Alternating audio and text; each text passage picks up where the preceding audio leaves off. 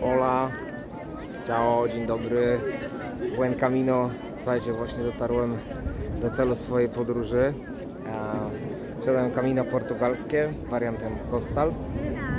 A, I słuchajcie, dla mnie największym stresem, takim niepokojem może przed wyjazdem, było to, jak wygląda kwestia noclegów. Dlatego pozwoliłem sobie w każdym schronisku nagrać kilka ujęć, jak wyglądają pomieszczenia, jaki jest komfort i tak. No i za chwilkę umieszczę tutaj filmiku, możecie je obejrzeć. E, Cała trasa zajęła 10 dni, więc 10 noclegów różnych miejsc Wam przedstawię. Nocowałem głównie w tanich noclegowniach, e, tylko raz nocowałem e, w prywatnym schronisku, e, w prywatnym albergę, ale to będziecie też widzieli na filmiku. Miłego oglądania. No i tak wygląda moje miejsce dzisiejszego noclegu. Jestem drugi, więc sobie zająłem jakieś tu fajne miejsce gdzieś na dole. Za szafkę trzeba dopłacić, jeżeli chcę ją zakluczyć, ale chyba nie chcę zakluczyć, bo i tak co mi tu może zginąć, papiery mam przy sobie. No zobaczymy jak to będzie, ale jajca normalnie. W takiej hurtowni. Tak wygląda dzisiejszy pokój. Trochę większy, trochę więcej pielgrzymów się powciska. Trochę więcej chrapania będzie. Ja się tutaj ulokowałem. Idę gdzieś tu znaleźć coś do jedzenia i do picia.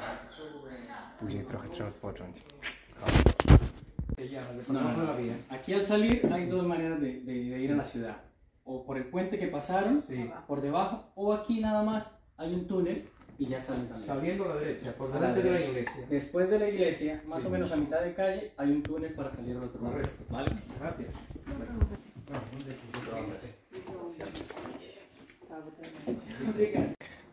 Pan wpuścił nas wcześniej. Tak wyszło, że no akurat dobrze, że przyszedłem, więc byłem pierwszy. Tak wygląda dzisiejsza lokalizacja. Już dwóch panów też przyszło. Tam są kibelki.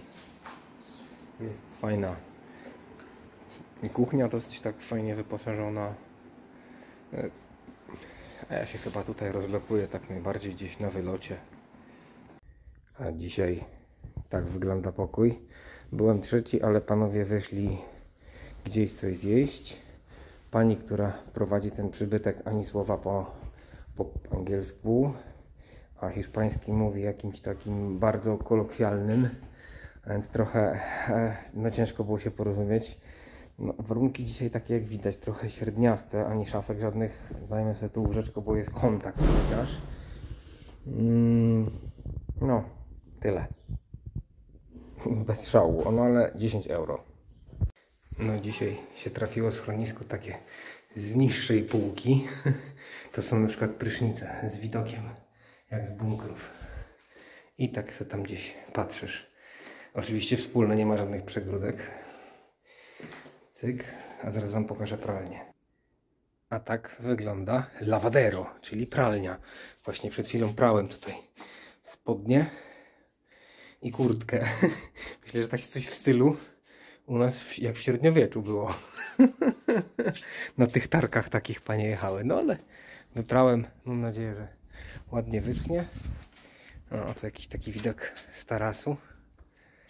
Kościół zaraz po, za rogiem. No to jestem.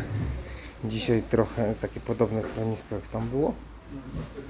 Tylko chyba jest więcej miejsc po prostu. Nagram póki jeszcze nie ma dużo ludzi. O, tam jest jedna sala, druga sala. Ale że tak powiem klimat podobny. Szukam czegoś z kontaktem. Pokażę Wam dzisiejsze lokum. Totalnie inny świat.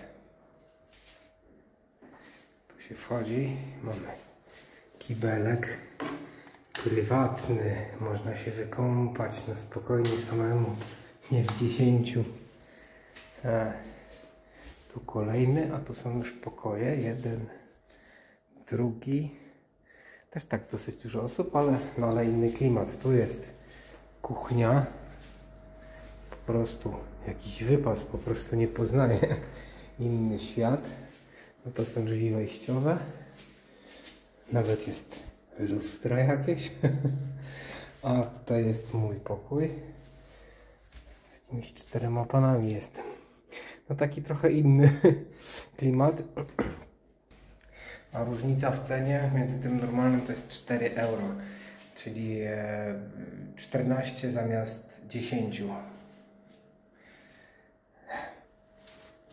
Trzymajcie się, jest moc jeszcze. Co prawda byłem trzeci, ale panowie poszli gdzieś tam na piwko, a tu się okazało, że otworzyli szybciej. Więc jestem pierwszy. Eee, no i tak to wygląda dzisiejsza sala. Wykorzystam, że nikogo nie ma, to nagram. Eee, okiennice. O, taki spędzior. No i co? Trzeba gdzieś tu znaleźć coś dobrego. Nie wiem, czy tu jest ok przy samym wyjściu. Idziemy poszukać jakiegoś optymalnego jakiegoś rozwiązania. Tu jest pralnia, więc zaraz sobie wypiorę ciuszki, bo już trochę są zmęczone. A tu jest w ogóle taka fajna jeszcze sala. Jak zwykle taki pokoik. No tak jak widać. Kuchenka klimatyczna. Kamienna, ale w ogóle jest. Elegancko. A tu widzę jeszcze są jakieś pojedyncze, a też jakieś prywatne. I jeszcze jedno schronisko. Eee, tak wygląda. Tym razem no je zarezerwowałem sobie wcześniej, jestem w Santiago. No takie standardowe.